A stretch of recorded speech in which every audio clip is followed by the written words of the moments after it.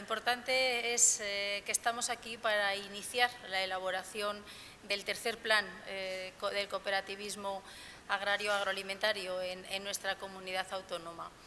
Y es importante porque es la primera vez eh, que esto lo hacemos juntos. A mí me parecía fundamental el que no tuvieran las cooperativas un plan y la Junta otro,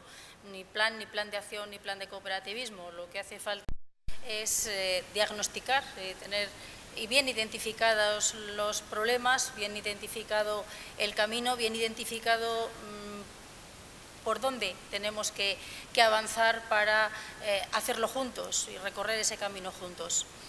El tiempo, pues cuanto antes, pero eh, de momento vamos a dibujar ese camino y lo vamos a dibujar entre todos. Es cierto que el punto de partida eh, es importante, no estamos en una situación en la que el cooperativismo esté como hace 20 años, pero también es cierto que nos queda mucho camino por recorrer, que vemos eh, como la industria, eh, como la distribución se han organizado, son capaces de unirse para competir y sin embargo en el sector primario todavía nos queda mucho que avanzar respecto a otros países, respecto incluso a otras comunidades autónomas. Por lo tanto, tenemos un trabajo importante que hacer y si queremos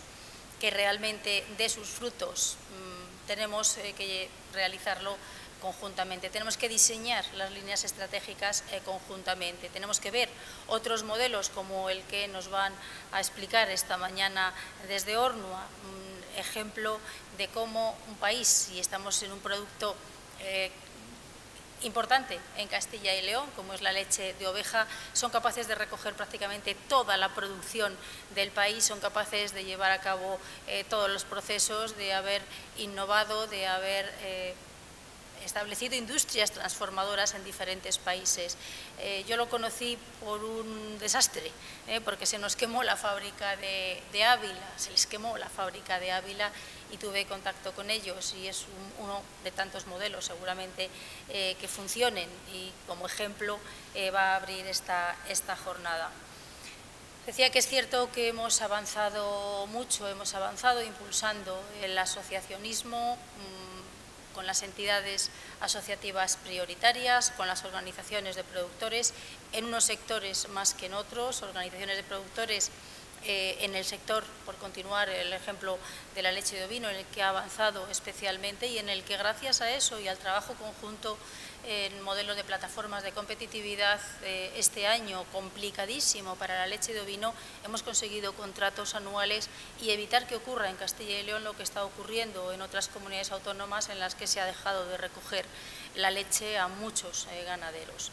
Sin ser la situación ideal, mm, hemos conseguido mantener la estabilidad en el sector. Precisamente eh, por eso no solo el trabajo conjunto eh, con las cooperativas, sino el intentar incorporar eh, también a la industria y a la distribución en el diseño del plan. tenemos que ser capaces de trabajar conjuntamente, de ver la necesidad entre unos y otros y el marcar indicadores que nos permitan ir adaptando eh, lo que producimos a la demanda de los mercados. Al final es cierto que la PAC es importante y hoy se está negociando en el Consejo de Ministros de la Unión Europea, pero es el 30% de, de nuestros ingresos, el otro 70%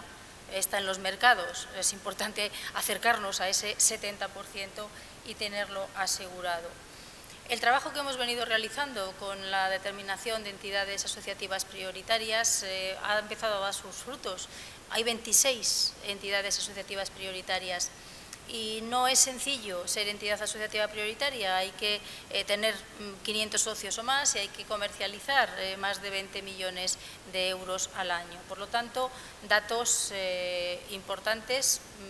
mm, y avance importante, hoy hay 26 entidades asociativas prioritarias, 10 porque cumplen los requisitos y otras 16 que han hecho acuerdos intercooperativos para comercializar. Y esta es una de las opciones, no tenemos eh, que estar integrados, pero sí comercializar conjuntamente para tener más fuerza en la negociación. Y es importante sobre todo ver cómo eh, hay un impulso dentro de estas entidades a la modernización y al rejuvenecimiento del sector. El 30% de los jóvenes que se han incorporado en los dos últimos años lo han hecho alguna entidad asociativa prioritaria. Y de las modernizaciones que se han solicitado, eh, también en torno al 30% son de explotaciones que están en entidades asociativas prioritarias. Yo antes decía de broma que los 10.000 euros de más o ese 10% algo ayudan, pero bueno, es el, apoyo que tiene que hacer la Administración, es la orientación que realmente define la Administración para impulsar el volumen y el mayor dimensionamiento del asociacionismo. Estamos ante un nuevo plan eh, mm, que queremos que sea único, como decía, Administración cooperativas incorporando a industria y a distribución y que queremos eh, además que sea participativo. Por eso hemos diseñado eh, la participación desde el momento de la elaboración. Por eso, en primer lugar, enviamos el cuestionario en el que se han recibido mm, un 40% de, menos del 40%, el 20% de las encuestas eh, ya han sido contestadas, hay que seguir eh, recibiendo las respuestas, pero en el que hay eh, cuestiones curiosas que ya se ven, ¿no? cómo mm, se valora positivamente el que se comercialice mucho más a través de la cooperativa,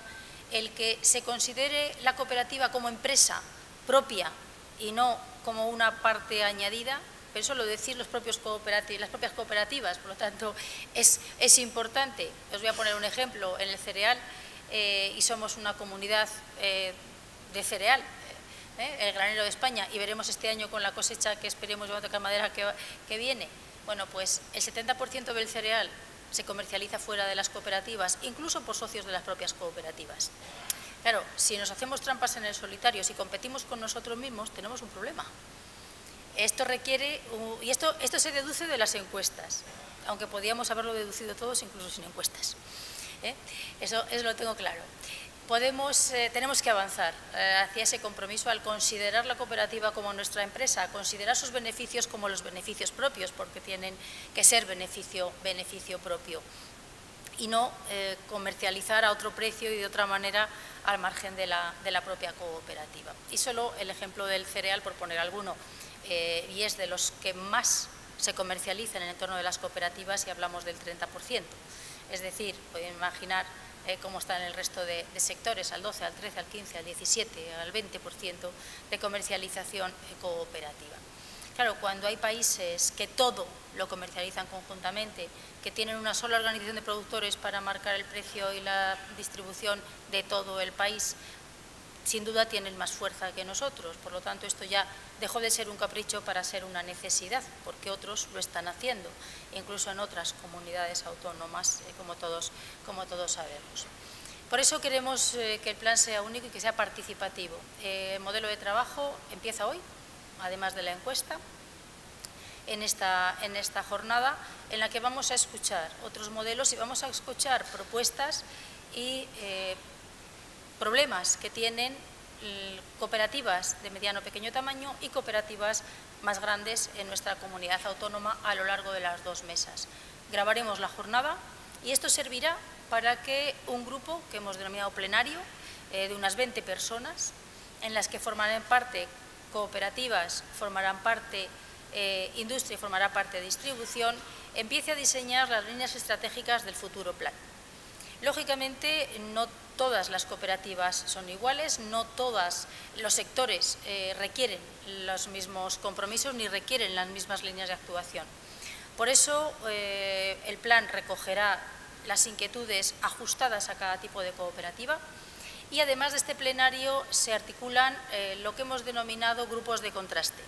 Estos grupos de contraste serán ya grupos especializados por cada sector o por cada tipo de cooperativa que validará, e modificará, incluirá o eliminará objetivos y propuestas hechas por el plenario. Una vez recogido y una vez mm, arbitrada toda la participación en el plenario y en los grupos de contraste, se abrirá a todos los agricultores y ganaderos de la comunidad autónoma para que todos y cada uno tengan capacidad de decisión y puedan eh, incorporar aquellas cuestiones y sobre todo hacer suyo el plan. No tiene sentido que tengamos un plan del cooperativismo, ni de la Administración, ni de una entidad, sino que el plan del cooperativismo debe ser un compromiso de quienes tienen que estar realmente y van a estar afectados por el propio plan. Si queremos mejorar la actividad agraria, si queremos mejorar el, peso del agricultor y el ganadero en la cadena de valor, y si estamos convencidos, como lo estamos, de que el cooperativismo es la clave, tienen que ser los verdaderos protagonistas de este plan, tienen que asumirlo como propio, porque el compromiso debe ser del agricultor y del ganadero, debe ser de la industria, debe ser de la distribución. Por eso queremos hacer un plan único y un plan absolutamente participado por todos aquellos que eh, se tienen que ver beneficiados con las iniciativas del plan. Empezamos en este momento, la idea es tener el plan elaborado a lo largo de este año, en octubre, noviembre, y empezar a aplicarlo y desde luego desde la Administración yo me comprometo a reorientar las medidas que haya que reorientar a partir de enero del año que viene. Un plan eh, que hemos estado hablando previamente en el Consejo del Cooperativismo Agrario que no debe ser a corto plazo, si estamos hablando de objetivos ambiciosos. Si estamos hablando, como se deduce de las encuestas, claramente que es necesario un cambio cultural, eh, siendo objetivos y siendo realistas, un cambio cultural no se produce en cuatro años, un cambio cultural se produce a medio largo plazo. Por eso el plan eh, que vamos a, diseñar en este momento puede tener un periodo de vigencia hasta el 2040, hasta el 2050, hasta donde se considere, con indicadores y con mecanismos de corrección eh, a los tres años, a los seis años, a los nueve años o cuando sea necesario porque han cambiado las circunstancias o los requerimientos de la industria, del consumidor, medioambientales, de la política agraria común, de la política europea o de lo que sea. Por lo tanto, un plan abierto, flexible y a largo plazo que permita realmente incorporar las medidas que estamos planteando y reorientar la organización del sector primario hacia un futuro en el que tenga mayor capacidad de decisión en la cadena de valor, mayor peso, porque para eso es el productor de las materias primas y por lo tanto de los alimentos y que al final derive en un beneficio eh, claro y en un sector primario absolutamente competitivo y atractivo para los jóvenes y por, supuesto para eh, todos aquellos que eh, mantengan su actividad en el entorno rural.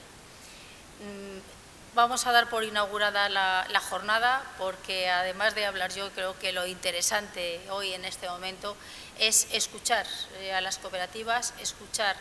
al representante de, de Ornua que, nos va a acompañar y empezar a trabajar. Yo agradezco el trabajo que